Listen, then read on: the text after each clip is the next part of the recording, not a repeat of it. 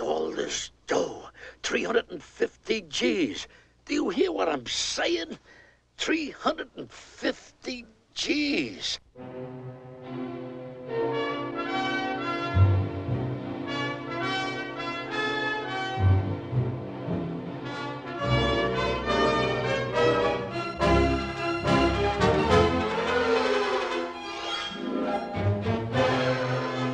It's been called the all-time comedy classic.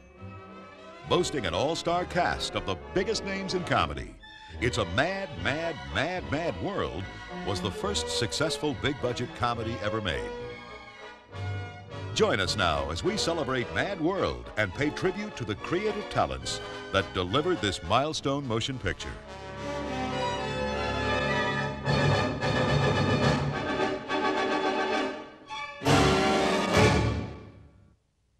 Came into being because it was right for it to come into being. Bill Rose is a genius of a writer, really. William Rose, who wrote Mad Mad World, did a miraculous job. So when they handed out the scripts to all the actors to study, they handed two of them to each one. And I said, what the hell, what is this, two scripts? Each script was about this thick. One was for dialogue, and the other was for business. That's how much visual stuff we had in the picture. Bill Rose had a writer's block. Right before he wrote Mad Mad World, he had written, he had written Genevieve, and he had written a lot of wonderful pictures for the um, British cinema. And he had this little idea, and Mike Zimring, my agent, said, he's, I can't write it, I can't write it. He's, don't write it, just write me a letter. Just say, Dear Mike, I have this idea, and tell me the idea. Just tell me the idea. He wrote him a 10 page letter. This is an absolute truth. He wrote a 10 page letter to Mike Zimring. Mike Zimring, who was in contact with Stanley Kramer, knew him well, brought it to Stanley Kramer, and Stanley Kramer paid him $300,000 for that letter. We stayed with the script. You know, a lot of people would say, well, did you ad lib a lot? Stanley locked us in. We, we had a good script, too, and uh, a great script.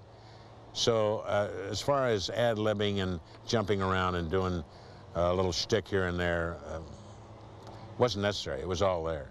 Stanley knew what he was reading. He knew that was a wonderful uh, background for a great movie.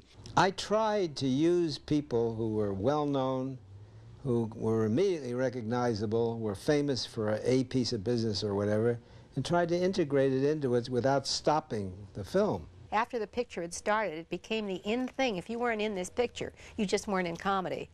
And um, different people would plead with them, and they'd say, "I'll take any part. I'll be," you know. They, uh, Stanley would say, "Well, we got so and so today, but Jack Benny, I know, was one that just pleaded to be in the picture." It was in the papers every day of the week, and uh, and every comedian in the world was being called upon to either be in the play as major performers or do small parts in it. And, and if we weren't called, we were very saddened by this because we thought we weren't wanted. Even after 25 years, I'll go into a place where Rickles was playing in Vegas, and he gets word from the head waiter all the time who's in the audience. And he's been, he's warned him to spot me if I ever come in. I've been in three or four times to see him, and he'll come be introduced. And before he goes into the act he'll come to the apron of the stage and hit, get hit with a spotlight and say stanley how in the hell is it you used every comedian in the business in that picture except me? What's wrong with me? What am i jewish or something? What else did you do mrs Wallner? stop it! Stop it! What else do you admit to mrs Wallner? what else? Hello Stanley Kramer established himself as one of the great dramatic film directors. His films examined social issues, and much of Kramer's work was controversial and shocking. Comedy was the last thing anyone expected in a Stanley Kramer production. We're all doomed, you know. I was known as the man with the message, the serious filmmaker, and I thought, I'll make a comedy and show him. And uh, that's really the birth of it the birth of it in something as tawdry as that. The fact that I wanted to show everybody I could do a comedy. People who have never done comedy and decide to do comedy usually fall on their behinds. Stanley Kramer, because he was a filmmaker and appreciated comedians and understood uh, how to let them live and breathe in a movie, was very successful because of it. I said, um, Stanley, you know, you've done a lot of very serious pictures and with very fine actors. Have you ever worked with comics before? And he said, oh no, but what, what could be bad? No, what? And I said, well, you've got to understand that they're just a little different, just a little bit different. I think the fact that he never done a comedy was good because uh, he let us have uh, a little bit to say in what we wanted to do. But he knew about what he wanted in the story, and he knew how he wanted to shoot the picture. He'd already uh, drawn the picture out in, uh, in cartoons. He had tremendous respect for the talents that were in that picture, and it was very usual, not at all unusual, for him to say, now, how do you feel you'd like to play this? Or what do you think would be best for you to do in this scene? Therefore, it was a collaborative effort. We had a meeting, and it had to be on a Saturday. We were making time and a half, and it had to be 18, 20 guys. And we get into part of the action. I see it one way, and Stanley sees it another. So there's a pretty good little argument. No, I can't win it because he's the man. I said, Stanley, I'm only trying to do the job you hired me to do. He makes an announcement to the group. You know, I've never directed a comedy before. I raised my voice and said, Stanley, you don't have to tell him that. It's a wonder he didn't fire me right there. I remember the first day on the set for rehearsals. It was a staring contest. Uh, they're staring at the message man, and I'm staring at all these comedians and thinking, what, what are they going to pull? What's going to happen? Comics have historically a habit of stealing from one another. And I'm not talking about stealing a joke or a line. Comedy is a, is a dangerous mission. Comedy is something which in timing and perspective is totally different from just performance. And to see all these guys struggle with their timing and work on getting a little piece of material which can snap like that is a wondrous thing to see. Real pros. Everybody was a pro. There were no uh, prima donnas. We all, we all got along. When you talk about all-star films, Mad World heads the list. Stanley Kramer assembled a legendary cast. Headed by Spencer Tracy, it included almost every big name in stage and screen comedy.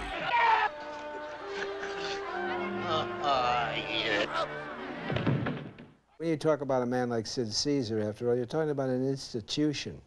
Well, I think we should thank the good Lord for sending Sid Caesar to Earth. Because when uh, Sid Caesar was born, there was a star in the east. Me.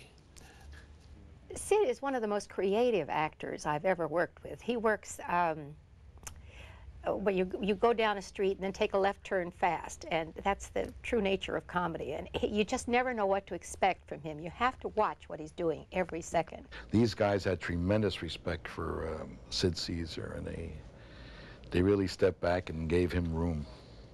His facial expressions, his dramatic expressions, he, he wrote the book on that. Maybe he was playing some kind of a trick on everybody. Did you think about that? He might have been a practical joker. Oh, yeah. She's a very talented lady, Edie. She's a good comedian, and she has talent way beyond that. So that I was delighted to have her, and she was very helpful all the way through. Special lady, special lady. She was going through a very rough time at that time. Ernie had just passed away, her husband, Ernie Kovacs. And she was going through a very rough time. And uh, I give her all the credit in the world. Edie was doing a scene, and they had a close-up of Edie speaking to Sid Caesar. And the camera came in, and Stanley made a close-up and looked through the lens, and he said, Edie, what color are your eyes? She said, they're blue. He said, oh, I see.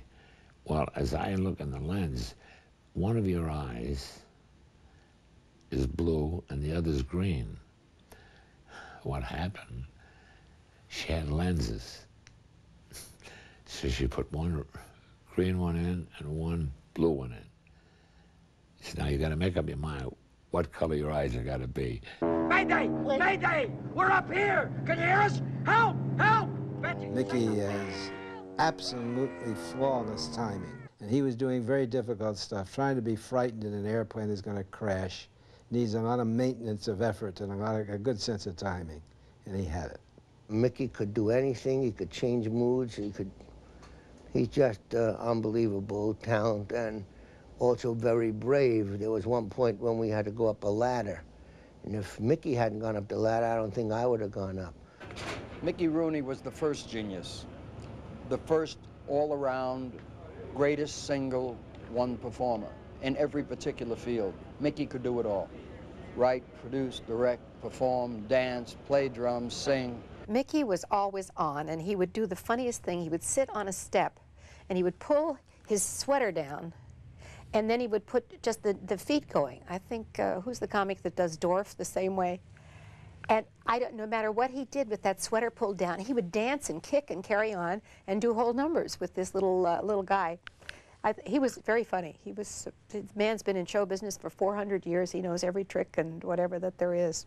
Well, Mickey is really a genius. There's only one trouble with Mickey. He's impetuous. He wants everything done right away. That's like I told you earlier that it took us about seven months to make the picture. He says, oh, Christ, I can do this picture in two weeks. Right? That's proviso, with a proviso that everybody knows their lines, but he knows his lines very well, all the time.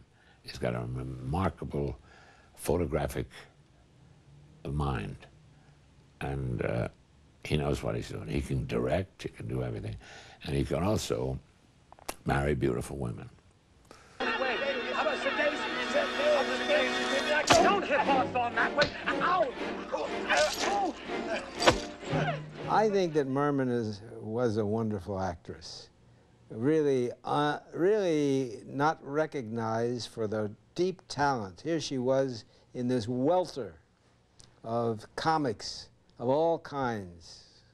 Uh, guys who did impressions, facial expressions, uh, pratfalls, everything, every kind you can think of, slick, uh, on stage conversationalist, everybody. Yet she held her own every foot of the way, and that's something. That's something of a tribute.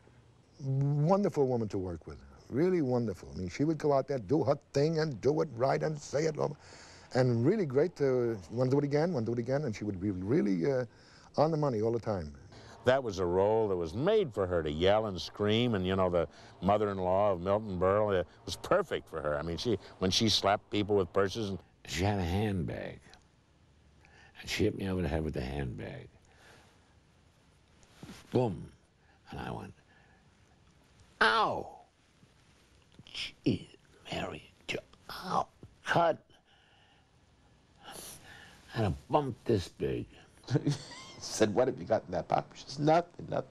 They opened it up. She had all her old, the costume jewelry in there. She kept swatting him with that. I had that bump for six months on my head. Every time she met me after that, she says, how was the bump? And I said, go to hell. Jonathan Winters regaled the entire cast. He entertained everybody in a air-conditioned truck in which all the actor, which all the actors repaired between shots. Never repeated himself once in four months, and entertained everybody. Jonathan Winters, when we were in, we always had the, the, our trailer, a dressing room trailer, no matter where we were. And Jonathan Winters would just keep you in stitches from early morning. He would, he'd say, dirty old lady, well, and then, and he'd go right into that character. No matter what you would say, and somebody would throw in something, he would ad-lib a whole day. This man absolutely is the most, most brilliant. He's just like in another, another world, in another area. I went into a high, on a natural high, and I don't think I came back down for a number of years. I was out past the space shuttle, and every every astronaut that ever went up there, I was way past the moon. He's literally endless in his comedy invention. Part of my job and part of Arnold's job was that we keep um, Jonathan in the trailer, which was air conditioned, because otherwise he went uh, bananas in the heat and it was 107 degrees. And uh, the way we kept him in the trailer was we play games with Johnny, and one of the games was, who are you today, Jonathan? He says, today I'm the Tuesday Bear. And so we had to be other bears, or people watching him in a cage, or his uh, trainer or someone feeding him or whatever. Not just for five or ten minutes, but for a half hour. One time he was the son of the Indian chief who loved the white man with the beadwork and the whole. He was brilliant. Mickey Rooney came over and whispered into Jonathan's ear, we go over the top at dawn, Lieutenant.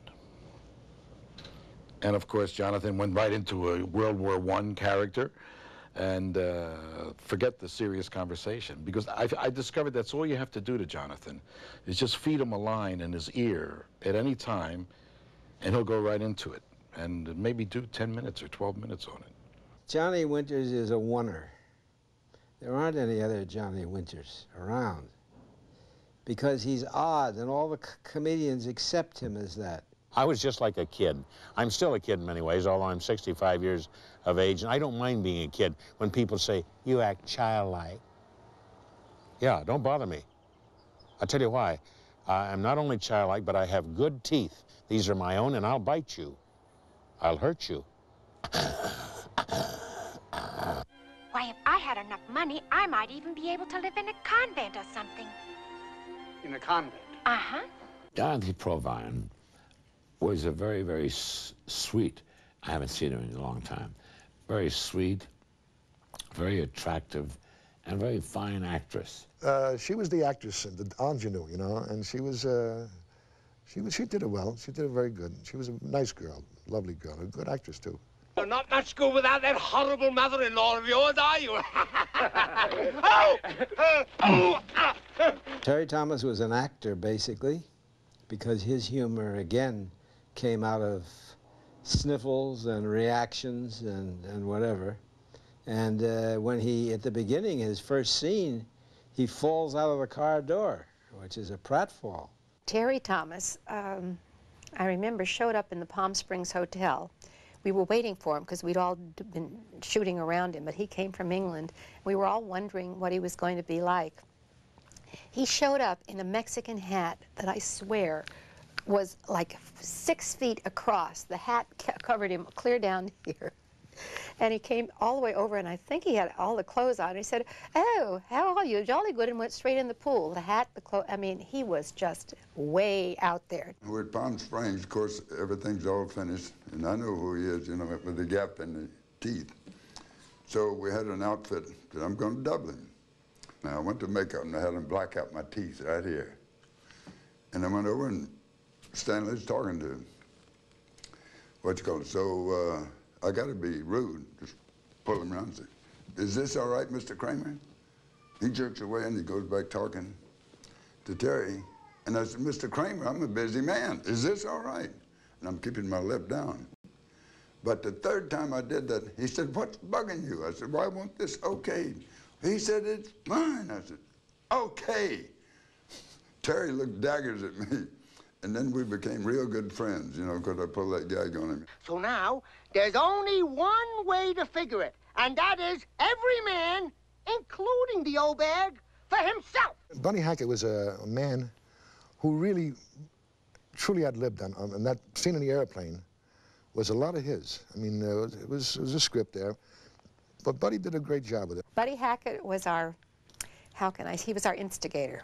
And he'd say, why don't we go after the show, uh, why don't we all go and do, when he always had these plans, and they were always, he was always putting us on. But one day, 120 degrees shooting in Palm Springs, and we can't go anywhere. We have to wait until the day's shooting is over. And all day long, he kept saying, oh, I can't believe it. In my hotel suite, there is a bathtub full of ice. And in the ice, there's beer and there's, there's soft drinks and there's all kinds of things. And then I'm having a tray of cold, ice cold shrimp, and they're also on a tray. And he would carry on all day long about all these great uh, mirages of what was going to happen when we got back there, because he knew when he get back there, nothing was going to happen. So we all trek up to his room, and he opens the door, and he's ready to say, sorry, and the PR people had gotten their head and put everything in that room that he'd been talking about all day long. Everybody was supposed to get paid the same salary or something similar. Anyway, Stanley was talking on the phone, and I wanted $150,000 for the picture. And he says to me, look, why am I having a problem with you? I can't give you 150,000. Why are you so want $150,000? I said, I like those numbers. He said, okay, what about 105? And he had me, I said, okay. So in the rest of my life, I always know that he owes me $45,000, and I don't think I'm going to get it anymore. Phil was an actor, great comedy actor. Uh, he was seldom on in real life. Phil was a natural, as they say. Uh, he didn't have to extend himself to be a high binder, to play the high binder, to be a guy who uh, always had a plan, always something in addition to what he was saying or doing. He knew every minute what he was doing. He was a straight man. He was a comedian. He was a comic if he wanted to be. He could be low and high. But one thing about Silvers, and that's the way he he did his performance. He did it with honesty, reality, believability, and that's why he was great. Sometimes off the scene, they would do tricks on each other. See, we were never allowed to see daily. Stanley said absolutely no. And not one of us was allowed to have a telephone because that would mean he'd have to have 85 telephones in the dressing rooms. So uh, Phil Silvers would say, we're sitting around the, in, the, in the dressing room. This, it's a truck that we have use as a dressing room. He'd say, uh, things are a little quiet. So he'd say, you want to see Milton call his agent? Everybody said, yeah. Okay, how long? 15 minutes? Okay, his agent's going to be here in 15 minutes. We all said, yeah. How are you going to do that? And he put a bet, as he always did, down on this thing. So he seated himself with his back to Milton, who was uh, with another chair right back here, and he starts to talk to us very loudly, saying, yeah, I was at the dailies last night, and you know what, Edie, you didn't really look so good. I told Stanley he ought to put you a little to, and he started to talk about, though he, as though he had been at the dailies. And Milton turns away. We can see him turning around. He said, is he turning around yet? Is he gone? He said, he's, he's not gone to the phone yet. He said, um, and uh, I, oh, I've got a lot of fun. I've got to phone New York. I've got to get to my dressing room. Uh, the, he said, is he gone? They said, yeah, he's gone. And in 15 minutes, Milton's agent was on the set. And he said, I did it, I did Boy, are you bugging me, man. I'm gonna, when I get, I'm gonna nail, ooh, God. I'm, I'm getting bugged now. Whoa, man. Don't stop now, go. Dick Shawn was into bodybuilding long before everybody's now the big thing, but in 1962, that was, it was kind of unusual to have somebody that would jog every day and work out and do shadow boxing and do all this stuff. And he was in terrific shape. Dick Shawn and I had a scene at the end uh, under the Big W, which is out near Portuguese Bend. Stanley decided that he and Jonathan Winters would have the pickaxe and they'd be down there digging with all of us looking around at them digging. And all of a sudden, Dick Shawn yells, cut. And Stanley said, what, what's the matter? What's the matter? He came over quietly, said, I'm not staying in the hole with um, Jonathan Winters and a pickaxe. So Stanley said, okay. Jonathan came out, and then Dick Shawn really went to it with that uh, pickaxe. Did you see the bond I brought? Running around full of paint with a dress ripped. Now, what's that all about? Yeah! And what about the picks and shovels? Falk planned every little move. And consequently, if you look at his performance, it's a gem. Everything he does is that way. And uh, he just is, uh, was brilliant. He is Peter Falk, playing Peter Falk, which is completely uh, different than anybody else. They a different voice, different style. Yeah, I know Peter. Very wonderful man and very fine actor and deserving of all the money that he's made. Now, Stanley told Eddie Anderson, Rochester, you do whatever Falk does, because they're both playing two cab drivers. Well, Eddie didn't, he was doing it even when Falk would go off in the corner by himself and start to go, the man, the man didn't, what does the man, the man don't, dumb. And Eddie would be there next to him imitating, the man, the man say, yeah, the man too. and Mickey and me, Mickey would say, come on, come on. And we'd sneak and be looking at them. This is down where the big W was. We'd be looking through the weeds and watching. And Mickey would keep hitting me, but we didn't want to laugh. And then Rochester didn't hear so good. So he made up a word, ballet. So you say the morning, he said, Balze, Balze. So when Falk is going, the man tell me, and he'd be mumbling, and Eddie would be saying, Balze, Balze. One day, Falk stopped Mickey and said, what's Balze? And that was the end of Mickey. He would roll down the hill. Faster, faster, faster. Milton Berle was a teacher. He taught us all what to do. And though we all had our own styles and our own ways, if you didn't watch Berle, you weren't a total professional. Well, I'm going to be 83. I feel like a, I feel like a 20-year-old, but unfortunately, there's never one around. You know, no matter how many people are in a scene, anywhere from two to 12 of all the comedians, when they had to exit, Berle always managed to exit last. Uh, they'd all go off, and he'd start off with them and then turn back and say, uh, yeah, and then go. Come on, let's go, come on. Oh, oh, oh, oh, oh, okay. You know, it's that last couple of two, second and a quarter, you know? But hey, that's Milton. He just had to be that way. His mother trained him to be that way when he was in those little children's shows with when he was a young man. I mean, he spent his whole life on stage. We were all in a taxi cab. It like seemed like 15 of us. We were like in a little circus car, and we stopped, and he told us which ones to get out first and whatever. And every time he'd do this scene, Milton would be the last one on the in the shot. He'd be there doing something. So finally, he gave Milton a number. I think he was number seven out of 15, and we all got out, we all peeled off and ran off, and number seven left, and he said, okay, cut, that's a print. And the next day he came in, he said, I don't, Stanley came in and said, I don't know how he did it. I saw him get off and leave, but when I watched the dailies, there he was, the last one he had It's Milton. It's always the last one that gets out of the shot that maybe where the shot is through, supposedly, getting in the cab, I might do something of a shtick or something that is not in the script that is funny and they can keep it in. So I usually make it my business to be the last one out of a shot. Listen to your mother, sweetie. Billy Sue? Billy Sue, listen to your mother! Tracy was an actor who also had a sense of comedy. That's because of his natural sense of timing. The long pause, for example everybody could go on babbling for three minutes and he'd just look at him and finally say, yeah. And that was funnier than the, the gag itself. He was late two or three hours the first day's work. And then we all broke for lunch and we were sitting around having lunch. And Tracy said, well, when are we going to get started? When are we going to get started? And Phil Silver said, Spence, I guess he knew him, he said, Spence, the boys waited for you a good while, and uh, none of them need the money. So they figure you can wait a little. He said, well, what the hell is going on here? What, what do you mean? They figure, what do you mean? Yeah, take it easy, Spence. We'll get there. Then he worked with us. And from that moment on, even if he didn't have a call, he came to the set. He just loved watching the guys. He had a wonderful time doing the picture.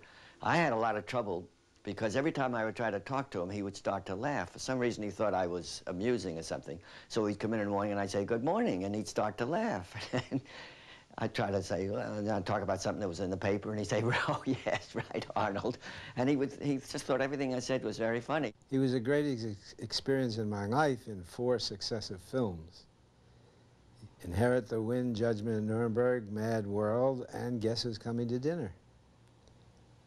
He left an impression upon me which I never have shed. I wish he was my father, and everybody that knew him would have to say the same thing. He's very helpful to people. He liked people. And this young fellow said, Mr. Tracy, I'm only an extra in this picture. Um, I want to ask you a question, if I may.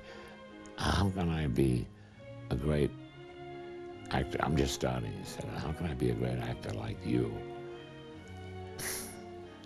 Tracy smiled with his head down and looked up with his eyes and said, Young man, acting is the easiest thing in the world. Just don't get caught doing it. That's all he said. Which is the one of the great lines of all time. Stanley Kramer, when we signed the deal, said that he wanted to meet all of us for lunch in the commissary. And all of us, all, I guess there were 15 to 17 of us sitting around this big circular table. And we were, you know, nobody knew anybody very well, and we were all kind of quiet. And uh, then he took us in to see the pre-production on the cars that they had done in Palm Springs. Yeah, we had six weeks pre-production, no dialogue, all stunt.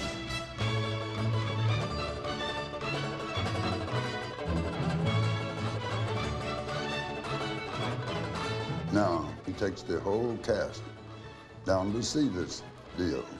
One would go and the other would they stop and go, and they did, the cars were doing takes. The most magnificent footage I'd ever seen of. It was entrancing, it captivating. And I said to somebody, I don't know what they need us for. Buddy Hackett says to him when it's over, Stanley, you mean you're going to spoil this beautiful picture by have us trying to put dialogue in there? I told him, I said, well, my premiere was a success. I hope yours don't flop. the first sequence filmed with the regular cast was The Hardware Store, shot on the sound stages of Universal Studios and featuring the comedy pairing of Sid Caesar and Edie Adams. The hardware tools were disappearing every day. Everybody was, uh, you know, grips and this and everybody was. So uh, we had to restock practically every day. I had eight suits, eight suits made exactly, all in different stages of, uh, of the paint. And uh, one day I wore this uh, jacket, one, one day I wore that suit because the paints were all different. And there was another thing with, with a torch. You had a, a torch that went around, and we did this take, would you believe, take 85. I mean, it didn't turn right. It didn't, and there was no way of making it stop or turn because you didn't want it to bounce. He wanted to just turn and be right there. So it would start the fire. Sid Caesar, I believe he's got this hammer and he's trying to knock this switch off the wall. And he swings, and he swings, and he swings. And he said, look, it don't do anything. It just stands there. And Stanley would crack up himself. I told him, I said, son, if you can't contain yourself, you'll have to leave the set. yeah. I banged on the door a couple of times. They had reinforced it, and every time I hit it with, you know, it was a 16-pound sledge. And I hit it about three, four times, and boom, it went down. And then became a contest between the grips and myself. After about three or four times, they put up steel. They put up a girder, you know, these iron girders, these crowd cushions, and that I couldn't get through. you would get three Eight vacationers meet roadside in Palm Springs to decide how they will divide the loot buried by the Smiler. Though seemingly simple, this scene proved the most difficult for the cast. Giving you uh, $112,000. We were shooting on Saturday. It was golden time. And we worked so very hard to do a scene.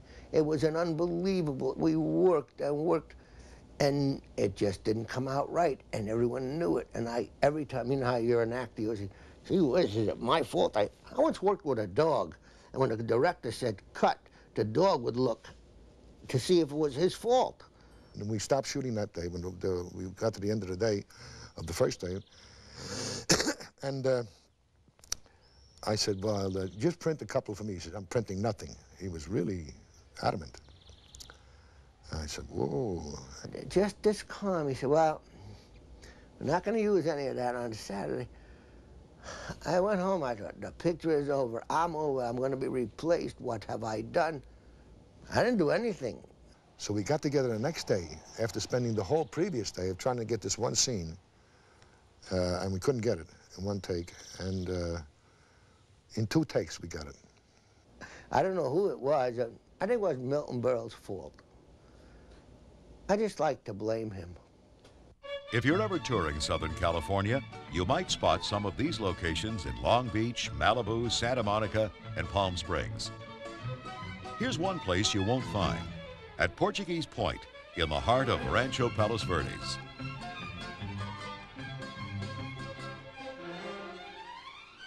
Behind these gates lies an imaginary Santa Rosita State Park. Still as breathtaking and beautiful as it was in 1962, much of this terrain was landscaped for the movie. Only one palm tree remains of the Big W, However, the owners told us they're planning to replant the other three trees.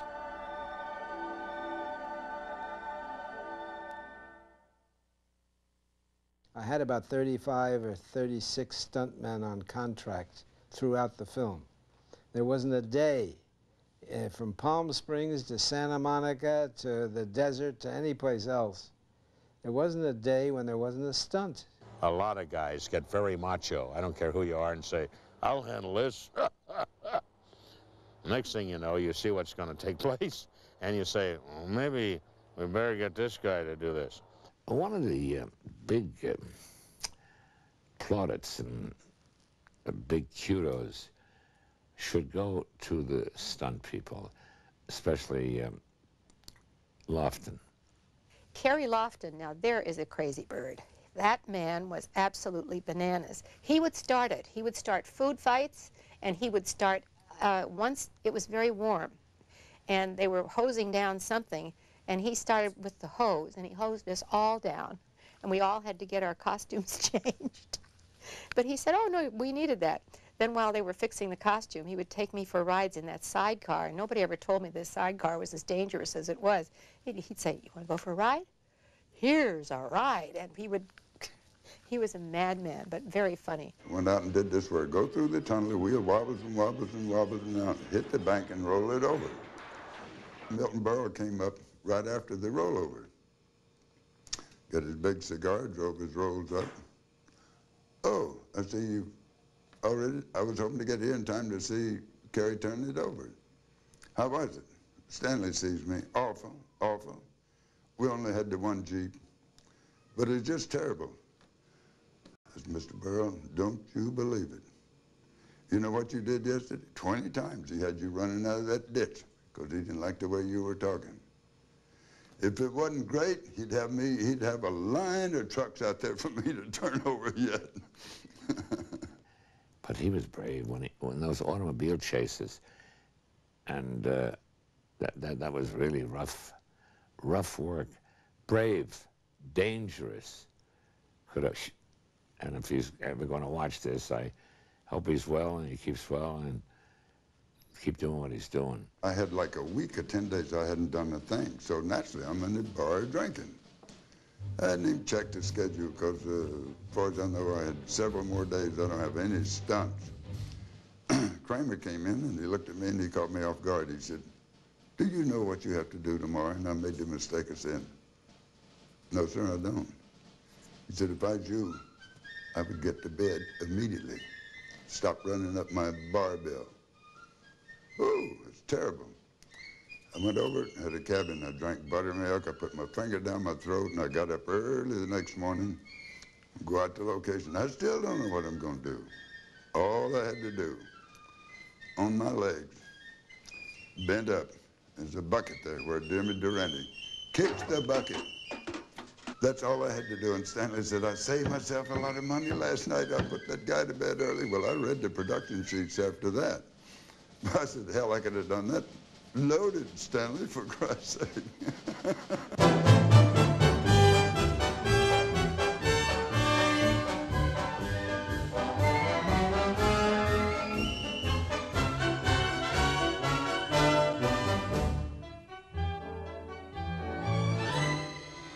Even with a company of stunt performers, the actors routinely found themselves in dangerous situations too. The only scene I was in was in the tower scene where we're Buddy Hackett and um, Mickey Rooney are flying a plane and they can't fly. The camera was about a football field away from us. I said makeup, which is a famous joke. I mean, when you're so far away that you can't see who it is and yelling for makeup, it's like a joke. And here's a plane coming and Paul Mantz is coming right at me. And I went like this and actually pulled my hands in because I could touch the wings. I was that close. And the plane pulled away and, and I watched it and, I, and it's too bad they didn't see the terror on my face because they were 200 yards away. And when it was all over, I went out and yelled, underwear. Makeup was my first call, and then underwear was my second. I was in my pants. There was one shot where Phil had to be pushed against the gas station pump, and it broke. And then Jonathan hit him. Johnny didn't hit him in the elbows. he hit him in the knees and the crotch. in the head. and they did two takes, and Phil had to go to the hospital. This stuff looked pretty dangerous because Kovacs used to try crazy stuff, and we, you know, I could see that if this was going to go this way, it might have gone this way. And they did have the nurse and the doctor standing by, and I thought it was just maybe a cute touch. After it was all over, they said, no, that really was real dynamite. Well, the Roman candles, it looked like it was shooting right past my nose. But I was about, I had about this much space in between.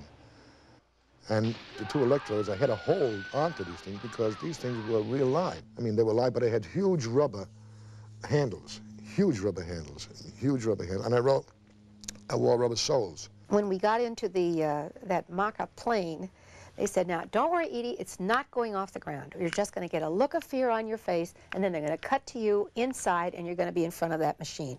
Now the stunt pilot is going to get in, and Frank Tallman, that brilliant pilot that went through the, the sign, he's just absolutely brilliant, got in. And he said, oh no, we're going to take you for a little ride. And I said, what kind of a little ride? And all that stuff that they did where they're a little off the ground and going down and back and forth, they really did that with Sid and I both terrified sitting in this plane. Filmmaking was the business at hand, but there was another enterprise going on off the set. Laszlo would come out and take a look at the sun, and we said, and they had a little, tiny little pool table, you know, and they put it up, right up, and the carpenters came, boom, boom, back, put it up, the grips put up. And uh, if we got there 9.45, by 10 to 10, they were starting to, ah, okay, lump, lump, lump. We played poker, we shot crap and everything, because the biggest loser, may rest in peace, was Phil Silvers. Phil was the biggest gambler I've ever known in or out of Las Vegas. He ran a daily crap game on the set with my permission because I knew there was no cutting against it. He'd be doing it in the dressing room if he weren't doing it in the open, where I could call him right away when I needed him. I demanded payment on the spot, and Stanley said, go play with Phil, and he beat me for 500. It was a wonderful afternoon. it would be impossible to single out any one scene as the highlight of Mad World. But if you had to pick just one, a prime candidate would have to be the famous gas station destruction. I win. We're gonna have to kill him. Arnold arrived on the set with a broken wrist. And uh, Kramer said, well, thank God it's your left hand. And Arnold said, I'm left-handed. And uh, they put a glove on Arnold, and the, if you see the picture, he's mostly with the glove carrying this wrench and I'm doing all the hard work. I have to wash the windshields and check the tires. I had this throbbing wrist, and then I had to do things like 18 or 20 feet above a concrete floor, I had to go running across a steel girder, and the only good or strong hand I have is my left hand. I'm left-handed, and that was broken. So that uh, there I was, balancing, uh, not wearing my glasses, so I wasn't really seeing sharply. I was wearing, you know, stage glasses and um, it was treacherous. It was very treacherous work. My problems suddenly became nothing. I worked out all of my problems in that gas station. And that was a big kick for me to be with Arnold Stang and uh, Marvin Kaplan and to throw tires at them and, and jump at them and everything and all this hardware tape around me. And the marvelous guys, I always wanted to say a special salute to the guys that rigged that rascal because how long it took them, I don't know, maybe days, weeks, but it all worked. Well, my very good friend, the late songwriter, one of the greatest, Jimmy Van Heusen, lived in Palm Springs, and he owned that property, the vacant land. And one day he's driving past it, and he, unbeknownst to him, he sees a shell station, and he goes, holy Christ, he said, Look what happened to me. I'm a trillionaire. I didn't know that. My attorney didn't tell me. They built the Shell station. Boy, I hope he made a great deal. Well, he didn't know. Drove away. Went back and told Sinatra, told everybody in Palm Springs. Two days later, he passed it. It was empty. And this guy came down the next day to the company when we were shooting. The gas station was supposed to be across the street, and it wasn't there. And he was a aghast. He said, wasn't there a gas station there? What happened to it? And of course, all the comedians got on him right away. telling him, well, you know, there were, did you feel the wind last night? It blew away. The whole damn thing blew away. They had the fight, The scene was over, they tore it all down and wrapped it. He comes past and he said, what happened to my station? There goes my money. We tied Jonathan up in the chair at one point, and we had to have lunch uh, about five miles away. Naturally, when lunch is called, everybody just wanders off to get something to eat. And then I guess it was a long period later that somebody realized that nobody had released Jonathan. Still tied up in the chair. And I was just like this. What have they done? So about an hour later, they came back. And I'd all but worked myself loose. And I said, when I get out of this chair, gang, you belong to me. Marvin, you, Arnold. Uh, he gave us a lecture on forced potty training. he was a riot. To write the score, Kramer called upon his longtime favorite, composer Ernest Gold. Ernest worked uh, very hard, and he was on the set almost every day. And that's very unusual for a composer. Stanley is very music conscious. He has never uh, claimed to have knowledge of music, but he always shoots the pictures in a way to leave room for music. You don't get caught with a 10 second, 15 second little musical bridge. He'll, he'll shoot uh, footage like three, four minutes with no dialogue and just subtle action. And then he wants the music to take over those spots. And of course, that's a joy for a composer because I've got some elbow room. I think also that you needed a motion picture composer to make the story stick, to keep it together, to keep it on track, because it was highly episodic. We kept cutting from one group to the next, but they were the same group in pursuit of the same dollar. The idea of something that was like a merry-go-round came to me because there were many chases in the picture, and especially some where the cops were running, you know, very, very fast along a thing. There was a big tree somewhere in the middle of the road. So they made a very steep U-turn around the tree. And uh, I thought, see, this is like a merry-go-round. And that idea then came to me that the, humor of the piece was that like everybody was in the, on a merry-go-round on the chase.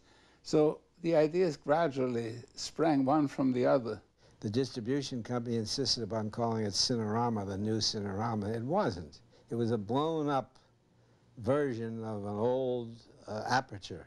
I went all over the world trying to fit the picture to the Cinerama screens, sometimes with bad fortune, sometimes with good. But the fact is, it was not Cinerama, which was three projectors and gave great depth to the scene. I would get very discouraged and very tired of sitting there writing, writing, writing. And once in a while, I take myself down to the theater, which was being built at the time, and I saw it was nowhere ready, and I relaxed and went home and wrote with more confidence. And then I heard it was going to be in two parts with an intermission. Our intermission was very creative. Very few people have seen it except the people who saw our Roadshow in those days. It was musical, and the action was continuing during, of the picture. The picture continued not on the screen, but on the soundtrack all the time that the intermission took place. And it was musically handled and adapted so that when we came back into the opening of the picture in the second act, as it were, it started with a flame, which is what the music carried through, and Caesar was trying to blow up the cellar. They had to build the Cinerama Dome for this film, and it was finished three days before the premiere. They were still laying the carpet in the uh, as we approached the uh, the mezzanine. I mean the uh, orchestra, and it was thrilling. It was thrilling. Everybody in the world was there. That specific night made sense, and it was probably one of the biggest nights in my funky career. I, stepping out of that car, I don't remember a lot of people. Oh, there, who is he? Who is that? Are you anybody? Should we know you? I didn't care whether they knew me or not. The Plaza sequence finale is one of the most memorable moments on film. Few people realize that the Plaza was actually an optical matte composite created by special effects legend Linwood Dunn. Kramer was a great experience because, as I said, i the cooperation was tremendous. And when he said to me, I have a picture here that's full of stunts, and when I get to this ladder sequence in the end, if it doesn't top everything else in the picture, then I, I've got a problem. I don't have a picture.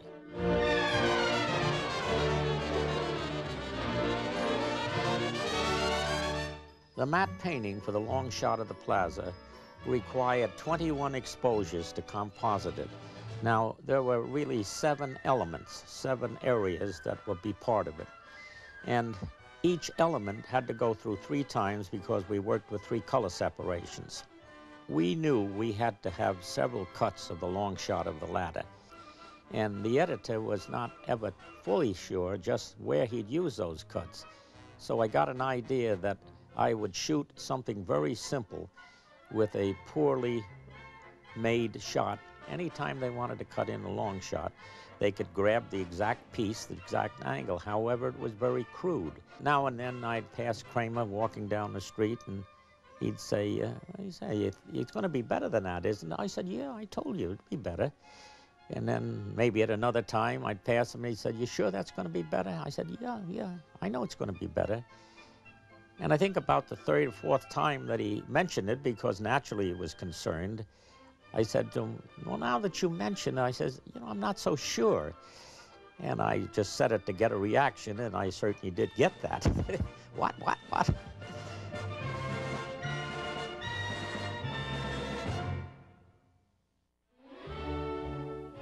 Well, there you have it. The unofficial account of a motion picture event. But before we close, let us pay tribute once again to the man behind the movie, Stanley Kramer. Hi there, everybody. I just want to tell you about one of the greatest directors in the world that I've had the pleasure of working with, not only once but twice, Mr. Stanley Kramer. Well, you all know him for, let's say, Judgment at Nuremberg, and you know him for uh, Guess Who's Coming to Dinner, but don't forget he made Mad, Mad, Mad, Mad, Mad, Mad, Mad, Mad, Mad, Mad, Mad World. Stanley Kramer, you know, had a big imagination. He, he thought big, and therefore he did things thoroughly. He didn't cut corners. He never made a picture that didn't have something to say. He stimulates the imagination. He knows what he wants cinematically, but he is not humming for you the tune he wants you to write. He's the most unmechanical man I've ever met in my life. One of the nicest, but really unmechanical. He don't know how anything works. But when you tell him something, he writes it down in longhand, and he can write real fast. You better be correct, because he'll read it back to you. He's tough to work for, you know, on account of that. See, the Stanley Kramer that made Guess Who's Coming to Dinner was a different director. And he has that great talent of being able to know which director to bring to which project. Not a lot of directors can do that. I think Stanley proved that his versatility was far greater than most people imagined by making Mad World. Like any of us, he's had a couple of failures here and there. I think he'd be the first to admit to that. But um, I, I, I'm one of the few guys that, whatever failures he's had, I would have enjoyed being in them, really. One thing he had most of all, and that was patience. And if you have patience with hammy actors, uh, good, good actors, good comedians, everybody wanted to be funny, but everybody playing a character. Uh, he is to be congratulated. It's so difficult at times working with people that don't understand our problems. And Stanley understood a lot of them, and those that he didn't, naturally, he had faith in us and confidence. Stanley was very generous to me in that when I broke my wrist, he said to me, look, if you feel you can't do it, er, your contract will still be fulfilled in every way, but we'll get somebody else to play the part if you don't feel you can do it. I said, if I lost my arm, I wouldn't give up this part. I must be in this picture. He's been incredibly loyal to me. I mean, a, a picture with Stanley Kramer almost certainly meant that I was going to be working on it. Stanley Kramer is what motion pictures is all about. He's the reason for great hits, from his very first with Kirk Douglas, right up through the ranks.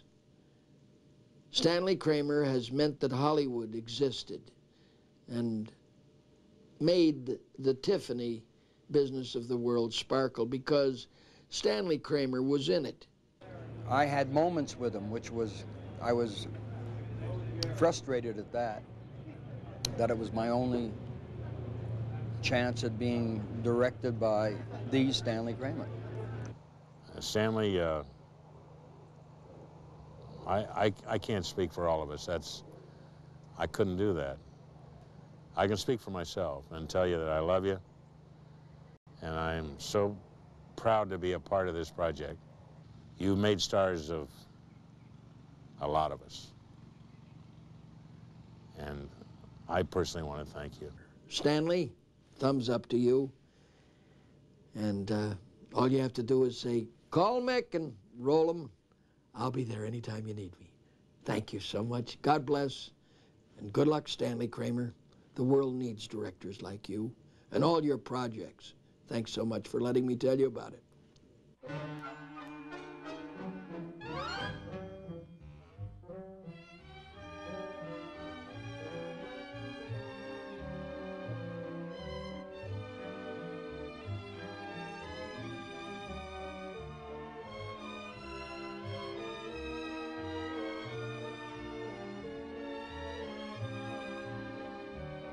That picture was a, a smash, I think, because it was a it was a love connection, you know, between the performers, Stanley, and the project. Everybody really went all out. Oh, it was a huge success right from the beginning, right from the beginning. But then that's something that you figured, well, that ought to be a success. That's one of the few times I ever started with something that ought to be a success, and it turned out to be. It showed the, the industry and the public that you can make an expensive movie, a, a, a large, lavish movie, and have it be a comedy and work. Mad World has this enduring thing because it is about the truth. It's truth. Everything there is truth. It's happenstance. You can take this, oh, that's a big thing to put in there. Is this true? But it actually could be true. This could happen in, in the 21st century. Maybe not the same clothes. There might be Martians doing it, but the word greed has been all throughout the centuries. To sit down in the theater, any one theater, and to look up on that wide screen and to see all these people is still a gas. It's called relating. Relating, it relates to the person who sees it. There's always somebody in that picture, or the premise of the picture, that Charlie will say to Alice when he sees it 10 years from now, or now and say, I had a cousin like that. We felt it was going to be some sort of a classic because with all these comedians in it, I mean, there were a lot of great comedians. You felt this was a very important picture. You felt this was the definitive comedy. Those kind of artists and those kind of comics no longer exist. Uh, the closest thing to a Jonathan Winters is uh, Robin Williams, I suppose. It's all a bunch of accidents tied together. I've said to many people, and they say, You've only done a handful of films. That's true. But to have done it's a mad, mad, mad, mad world. If I never did anything else, that was the biggest thrill in my life. Somebody always said, Well, why four mads? And I always think to myself, I should have made it five. Uh, because it's a mad, mad, mad, mad, mad world what it was like to be on that picture, it's a comedian's dream. There isn't any formula you're going to be able to set down out of this. Uh, that isn't what, it's, what it is or what it's about. It's a unique object to, to be judged on how much you enjoyed it. That will be seen forever because it's one of the great motion pictures ever made. All due, besides the performers all due to the production, producing, and the direction of Stanley Kramer.